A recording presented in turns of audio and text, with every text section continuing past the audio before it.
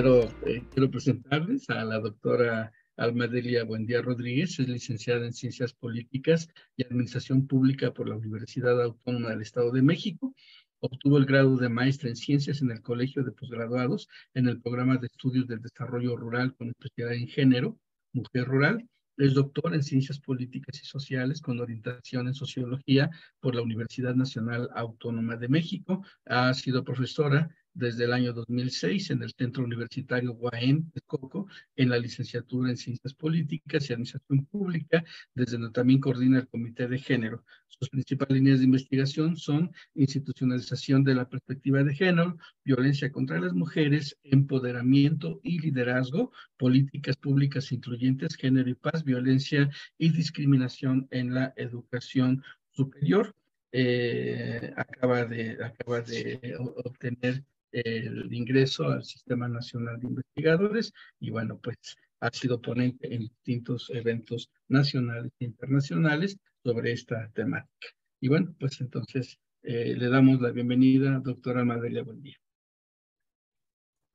Muchas gracias por la presentación, doctor Álvaro Reyes Toski. Y quiero agradecer antes que nada a las personas que nos hacen favor de acompañarnos en este Congreso Internacional, el primero que eh, realizamos en torno a reflexionar sobre la violencia que se vive y sobre todo en estos días, el día de mañana, se conmemora el Día Internacional de la No Violencia contra las Mujeres, que lamentablemente pues dejó de ser un problema eh, eminentemente privado para convertirse en un, un, problema de salud pública y a nivel, a nivel global. Entonces, es muy importante la generación de estos espacios les agradezco mucho a quienes nos favorecen con su presencia. Voy a, iniciar, si me hiciera favor, eh, doctor Tuski, de, de pasarle a mi presentación. Muchas gracias. Mi presentación, que como vieron, lleva por título La autonomía de las mujeres, una herramienta de poder para prevenir la violencia desde las instituciones de educación superior. Y eh, quiero comentar que la, la, violencia pues, ha sido un tema muy recurrente en los últimos años en México. Eh, es uno de los problemas más grandes que tiene nuestro gobierno. Elena Saola nos ha dicho que la violencia está presente desde ayer y toda la vida nos acompaña. Son las violencias de ayer y de hoy. Ella le llama las violencias de siempre. La violencia tiene muchas caras y la capacidad también de disimularse y es una de las características de este fenómeno, por lo cual en muchas ocasiones pues no se sabe a dónde están los límites de la violencia y de qué más puede ser capaz, porque tiene esta eh, cualidad de disimularse, de invisibilizarse y de camuflarse. Entonces ha sido eh, difícil esta, eh, la realización de ciertas tipologías. Sin embargo, en 2007, la doctora Marcela Lagarde junto con otras investigadoras eh, hicieron una investigación muy importante en tres países, entre ellos México, para poder averiguar cuáles eran las formas de violencia que se vivían en estos tres países, uno de ellos pues considerado de primer mundo. Y se dieron cuenta de que la violencia se registra de manera diferente en, estos países. ¿Por qué lo hicieron? Pues justamente para identificar eh, la violencia que se vivía en nuestro país en aquellos años 2000 eh, básicamente con el tema de, las muertas de Ciudad Juárez, que eh, eh, se presumía que había asesinos seriales y demás, y pues definitivamente no, porque después de este importante estudio se dieron cuenta de que no solo era una mentira, digamos, el que en Ciudad Juárez hubiera muchas mujeres muertas, que el Estado de México era donde había muchas más mujeres muertas. Entonces, eh, eh, los hallazgos dieron mucha luz sobre el problema y también dio la oportunidad para generar la Ley General de Acceso de las Mujeres a una Vida Libre de Violencia, en donde pues ya se tienen los tipos y modalidades de la, de la violencia y se han incorporado otros al paso de los años. Uno de ellos es la violencia digital también, impulsada por la Ley Olimpia. Entonces, es una ley que es muy importante por el espíritu con el que nace, pero también es muy importante porque no nos, eh, digamos que la violencia no, no, no ha dejado de sorprendernos de todas las formas que puede adquirir. Entonces, una de las más novedosas es esta, la violencia digital. Y que por primera vez tenemos con esta ley general de acceso una tipología que define también una forma de violencia que es la laboral y docente, que es de, la que voy a hablarles. Eh, ¿Me puede pasar la siguiente, por favor? Sí. Muy amable, gracias. Eh, tenemos que la violencia pues ha formado ya últimamente parte de lo que es la agenda gubernamental, pero es un, tema que ha tomado un largo camino. No fue eh, bien vista desde que inició, pero ha habido ciertas situaciones que han apoyado este camino y que ha logrado que la violencia se visibilice. Uno de ellos es la Declaración Universal de los Derechos Humanos, que es una plataforma muy importante, al igual que la Convención sobre la Eliminación de todas las formas de discriminación contra la mujer en 1979. Y en 93 se emite la Declaración sobre la Eliminación de la Violencia contra la Mujer, que es el primer documento a nivel internacional que establece de manera clara la violencia contra las mujeres y todo esto apoyado a hacer conciencia entre las mujeres y a salir a las calles con estas marchas feministas, con estos movimientos expresados de muchas maneras para exigir eh, respeto a nuestros cuerpos, a nuestras vidas, a nuestro eh, poder de decisión, etcétera. Y todo ello pues ha sido un largo camino, pero ha construido a lo largo del tiempo un andamiaje que hoy nos permite eh, hacer demandas y hoy nos permite salir a las calles a exigir nuestros derechos. El siguiente, por favor.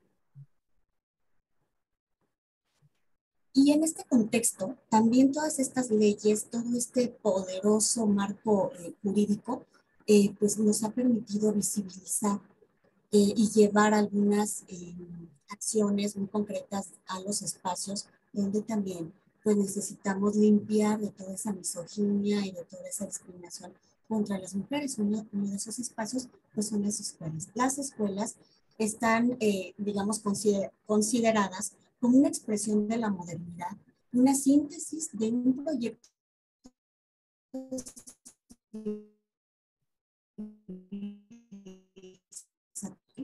y que cristaliza el proceso de enseñanza-aprendizaje marcado por la complejidad, pero en el que también se manifiestan relaciones de poder, tensiones, desigualdades y se convierten en espacios donde se manifiestan diversas formas de violencia.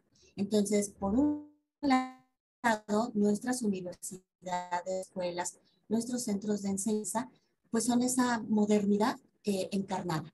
Es una, eh, digamos que podemos encontrar ahí lo más refinado de la sociedad, del conocimiento, de la civilización, eh, con estándares de, paradigmas universales, etcétera, pero por el otro lado, también son reproductoras de estas relaciones de poder desiguales que por supuesto nos afectan a las mujeres porque se convierten en verdaderas arenas de lucha, porque hay acoso, porque hay discriminación, eh, hay muchas formas de violencia eh, y, estas formas de violencia pues a veces son, eh, digamos, inesperadas, ¿no?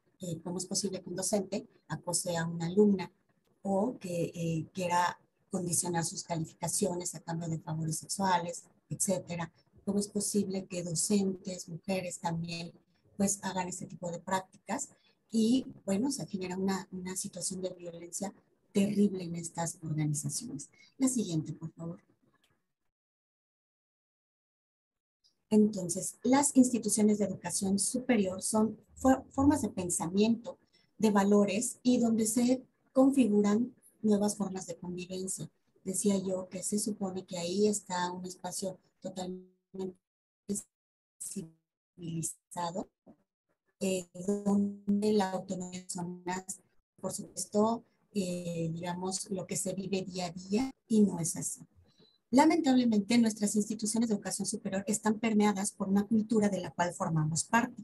No podemos esperar eh, instituciones educativas diferentes de primer mundo, de respeto, etcétera. ¿Por qué?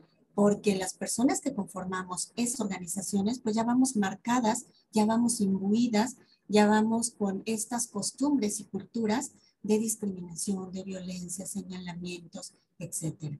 Entonces, eh, quienes construimos el clima, pues somos cada una de las personas. Debiéramos cambiar en lo particular, en lo individual, para poder imprimir un carácter diferente a nuestra universidad.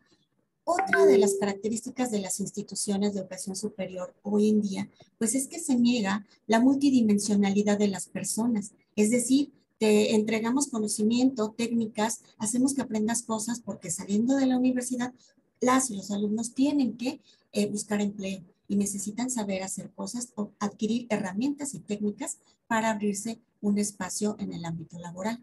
Y hasta ahí se limita básicamente el papel de la universidad, pero no ahonda en la multidimensionalidad de la que somos, eh, con la que estamos construidas las personas. Es un espacio también excluyente de las mujeres, son arenas de luchas, tensiones que se generan entre diversos actores, como decía yo hace un momento, entre directivos, administrativos, docentes, alumnos, dando lugar a lo que yo llamo violencias cruzadas, porque no solamente hay violencia entre alumnado, no solamente entre profesorado, sino que es una violencia cruzada, donde estamos todos contra todos y eso pues hace una situación a veces invivible. Hemos tenido muchos casos en diferentes espacios eh, universitarios y no universitarios, eh, donde las violencias pues se exacerban al grado de que las personas ya no quieren ir, ya no quieren asistir a las escuelas porque hay dolor de cabeza, presentan malestares, etcétera. Sencillamente no están en paz ni en su propia casa por saber toda esa tensión que viven. O llega el domingo en la tarde y noche y ya no quieren que continúe el día porque saben que al, siguiente van a tener que presentarse al lugar donde no quieren llegar jamás. Entonces, esto no puede ser. O sea, estamos en, eh, en, una época en donde pues ya tenemos esta virtualidad, donde ustedes me pueden ver cuando yo estoy sola en, en casa. Tenemos avances tecnológicos y ni siquiera pensados hace algunos años. Y no es posible que nuestro proyecto civilizatorio esté empantanado en ciertas formas de violencia que no podemos terminar. La siguiente, por favor. Muy bien. Em, la dimensión del poder, que es justamente lo que está al fondo de todo esto que describo, eh, ha sido estudiado por varias pensadoras feministas que respeto muchísimo, por supuesto, porque esta desigualdad en las universidades, el maltrato, los estigmas, eh, el señalamiento, la discriminación, tienen en el fondo relaciones de poder que se van entretejiendo para, para poder maltratar para poder violentar y para hacer menos al que no nos cae bien. Entonces, lo que está atrás es este poder que ha sido estudiado por no solamente feministas, otras, digamos, son ella. Eh, Marcela Lagarde, que es la persona que está en la, eh, en la foto de abajo, ella habla de un poder Poder son muchas cosas. Es el poder de saber llevar un parto sin una clínica, es el poder de usar las hierbas a tu favor para la salud, es el poder de dar un masaje terapéutico, a lo mejor eh, que te enseñó tu abuela, etcétera. Son muchas, el conocimiento es poder, pero también el poder va circulando, retomando esta idea de Foucault, que el poder no permanece en una sola persona ni en un solo momento, un espacio, sino que circula y dependiendo del en el que te mueves, en los roles que, que funges a lo largo de tu día, te van haciendo adquirir mayor o eh, tu poder. Pero el poder siempre está presente. Buckley Walla, por su lado, y otras eh, autoras, hablan sobre la libertad de movimiento, la resolución de conflictos y la toma de decisiones como tres indicadores que nos van diciendo qué tanto poder tiene una persona. Es decir, si puedes salir a la calle sin tener que pedir permiso, ausentarte varios días, irte de vacaciones sin tener que pedir permiso a nadie, bueno, estamos hablando de cierta autonomía, de cierto poder. Pero si tus eh, conflictos los resuelves peleando, gritando, eh, golpeando, etcétera, entonces no tienes eh, ese, ese poder de negociación y de llegar a acuerdos para poner paz en tu vida. Y si tomas a lo mejor decisiones, pero otras, las más grandes e importantes en tu vida, tienes que pedir asesoría, consejo y demás, a lo mejor hasta personas que no son de tu familia, habría que pensar ahí qué tanto poder tienes en esa dimensión.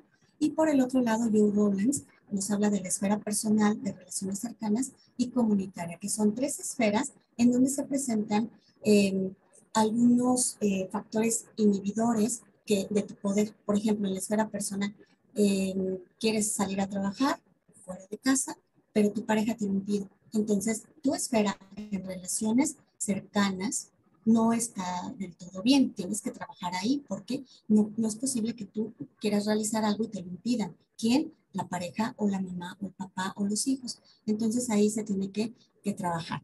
Y eh, la esfera personal, la relación contigo misma. Quieres hacer cosas pero no te atreves. Eh, tienes el impulso, el deseo de emprender algún negocio, pero no, no, no quieres porque eh, necesitas un poder personal que te anime a hacerlo. Entonces, el poder ha sido estudiado desde diferentes dimensiones. Ha tratado de buscar esta tipología para desmenuzarlo y saber bien de qué se trata.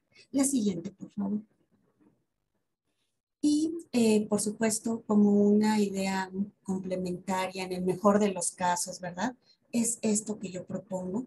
Em, las dimensiones que mis autoras manejan pues son muy importantes, yo las he retomado para trabajos de investigación y me han servido verdaderamente, eh, eh, pero creo que el poder necesita visibilizarse en esa multidimensionalidad que yo mencionaba. Es decir, para mí la autonomía como ese uso del poder personal, de relaciones cercanas, de libertad de movimiento y toda esa categorización que han hecho las autoras, yo creo que debe ir todavía mucho más eh, allá de las dimensiones materiales eh, que, tenemos. Generalmente en las universidades nos hemos enfocado en este esquema de dimensiones eh, y nos hemos enfocado en las verdes, es la segunda y la tercera, que es tener y hacer. ¿Qué significa eso? Que necesitamos herramientas conocimientos a nuestros alumnos al trabajo y para que puedan tener dinero, para que puedan abrirse camino en la vida. Y básicamente nuestra universidad se enfoca en esos dos aspectos, pero deja de lado otros aspectos que yo considero que de las mujeres y de cualquier otra persona debe de tener. Por ejemplo, esta dimensión del ser, la dimensión de creer y la dimensión de creer y ahorita las voy a explicar más adelante. Por favor. Muchas gracias. Para mí la potencia de ser es la esencia misma de la persona. Es un equilibrio interno donde nos permite centrarnos en el aquí y ahora y nos permite sentirnos en un cuerpo y un espíritu que se recrea cuando tomamos conciencia de nuestro propio ser.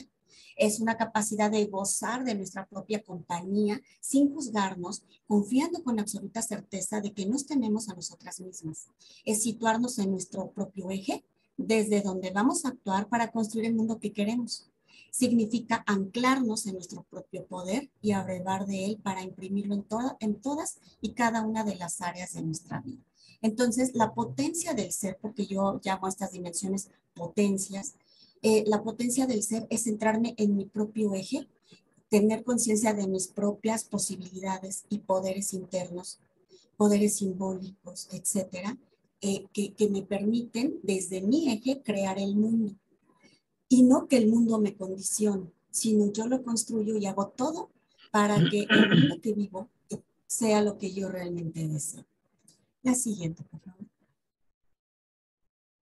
También eh, la potencia de tener y de hacer parten de la potencia de ser. La potencia de tener es la capacidad de disfrutar la vida a partir de las condiciones materiales y lo que yo requiero para vivir. Es la posibilidad de transformar nuestro entorno presente e influir en el futuro a partir de la utilización de nuestros recursos, habilidades personales, de conocimiento para producir, adquirir o intercambiar bienes o servicios para lograr los satisfactores que requerimos para la vida. Entonces es la casa que yo quiero, es el auto que yo quiero, es la ropa que yo quiero, es el lugar de trabajo que yo necesito. Pero todo parte desde que yo tengo una idea clara y está totalmente centrada, anclada en mi ser y desde donde mis potencialidades la van a impulsar. Y la potencia de hacer es la capacidad de lograr metas a corto plazo, mediano y largo para involucrar e involucrarse en definir propósitos y encaminarse a ellos, enfrentando retos y librando obstáculos para conseguir lo que se desea. Entonces, la potencia de hacer ya es concretar. Es a corto, mediano, largo plazo, voy a hacer esto y lo demás, y ya tendré que estar en tres años, en, cinco años, en tal lugar, que yo ya previamente dimensioné desde mi propio ser y lo tengo presente. La siguiente, por favor.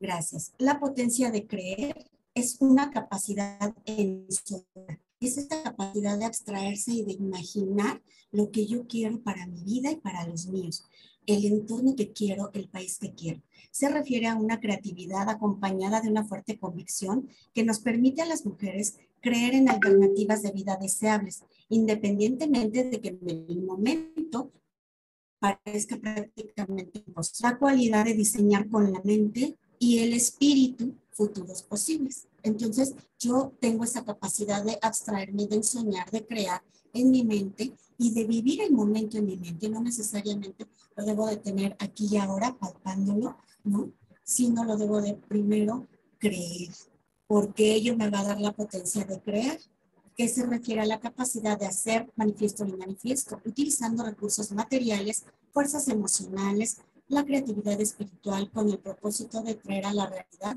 propósitos legítimos y sublimes del bienestar para sí y para otros.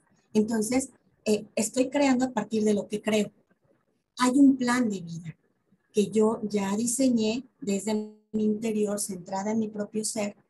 Voy a, buscar que todas estas herramientas que adquirí en la universidad como conocimientos, técnicas y procesos, todo ello que aprendí, lo voy a utilizar a mi favor y lo voy a sumar junto con mis habilidades personales mis habilidades culturales eh, o, aprendidas dentro de mi familia, etcétera. Y todo ello voy a hacer una amalgama y la voy a potenciar para ensoñar y construir un futuro que quiero creer. La siguiente, por favor.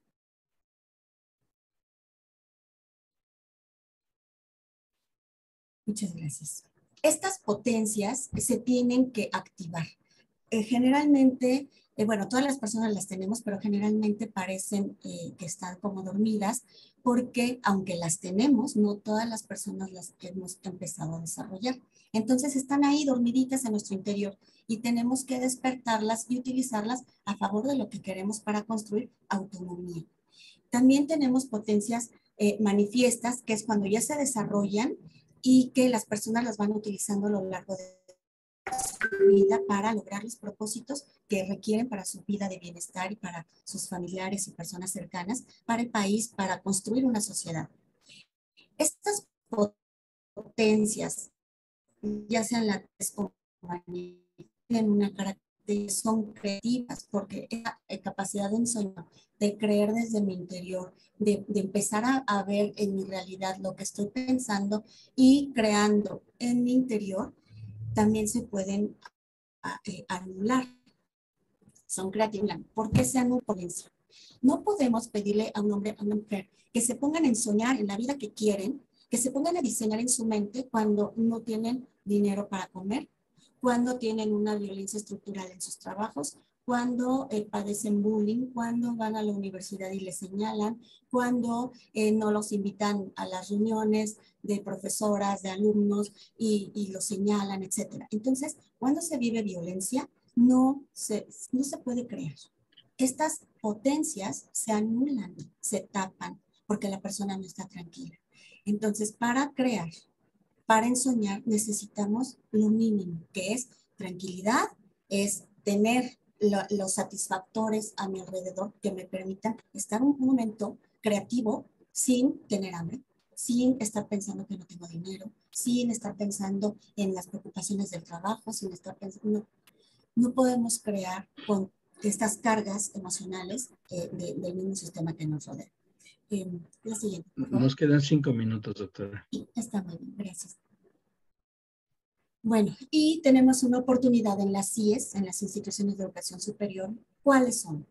Las universidades las tenemos como verdaderamente universales. Si necesitamos incluir nuestras áreas de conocimiento, hacerlas más amplias, más abiertas, donde tengamos también como materia eh, el acceso a los objetivos, a lo emocional y a lo espiritual. Eso son en las universidades de porque estas que pues en lo medible se va necesitamos ampliar esto para enseñarle a nuestras alumnas y alumnos cómo se accede a lo emocional y cómo se accede al mundo eh, espiritual de tu propio bienestar, de tu propio ser, para que lo utilices en, en tu beneficio. También generar la oportunidad de un mayor conocimiento de nuestro propio ser, diseñar planes de vida, planes de trabajo, un esquema de logros en un equilibrio que nos permita a las mujeres ser autónomas y libres. Y por supuesto, enseñar a activar estas potencias dormidas de ser, tener, hacer, creer y crear.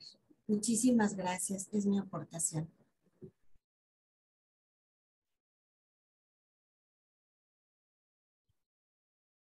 Bueno, pues queremos agradecerle, doctora Almadelia, este, por, este, por ese trabajo y por esta presentación. Eh, y bueno, vamos a dar espacio a, tenemos cuatro minutos como para poder tener algún intercambio de ideas eh, con, esta, eh, con esta presentación y con la doctora de la espiritualidad. Tenemos un tiempo. Renata, Renata ya levantó la mano. Adelante, Renata. buenos días eh, quiero felicitar a la doctora Almadelia eh, por el modelo que completamente me, llamó mucho la atención y sobre todo en las instituciones de educación superior. La pregunta sería, en este momento que estamos viviendo y que como resalta ella los indicadores de feminicidio, violencia hacia y contra las mujeres, este, en este modelo que habla de futuros posibles, ¿qué, qué modelos concretos estaría trabajando ella en su universidad o propondría en alguna universidad precisamente para hablar de esas potencias en el hacer, creer y ser. ¿Cómo sería, eh, cómo estaría impulsando o bajo qué modelo? Porque eh, me parece que para hacer estos futuros posibles y trabajar sobre el ser me parece sumamente importante. Me gustaría que, que la doctora nos, nos ofreciera como un modelo concreto del que ya ha estado trabajando o qué sería ese para hacer, creer y ser de esas potencias. Muchas gracias, qué amable por la intervención. Eh, sí, por supuesto, eh, yo escribo esto a partir de mi propia experiencia. Yo he trabajado conmigo, explorando todas estas dimensiones conmigo misma y buscando una forma concreta para poder eh, enseñar cómo se hace.